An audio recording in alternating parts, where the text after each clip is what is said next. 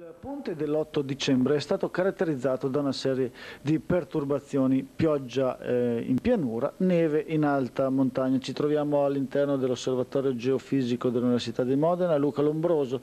Allora, quanta pioggia e quanta neve sta scendendo ed è scesa nelle nostre zone? Dunque, neve, notizie precise noi non ne abbiamo, comunque so che dall'incirca sul nostro Appennino le quote più alte dovrebbero essere sui 30-40 cm.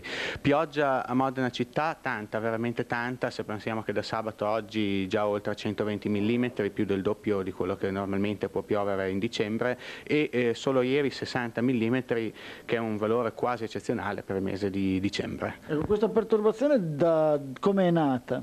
Questa perturbazione, ecco vediamo qui alcune immagini immagini ricevute dal satellite Meteosat 4 è stata originata da una perturbazione atlantica ancora nella giornata di lunedì che è entrata dalla valle del Rodano nel Mediterraneo. L'aria fredda ha originato la classica eh, depressione di stampo autunnale che eh, dà luogo a questa circolazione di tipo vorticoso, quindi le nubi continuano a girare intorno a un centro d'azione con eh, con incentivazione delle precipitazioni per gli effetti orografici, cioè la, eh, le nubi si arricchiscono ulteriormente di pioggia passando sui mari settentrionali, incanalandosi da sud-est eh, lungo l'Appennino e eh, con un effetto orografico che è tipico proprio della provincia di Modena. Ecco, ma questa perturbazione per quanto tempo rimarrà sulle nostre zone?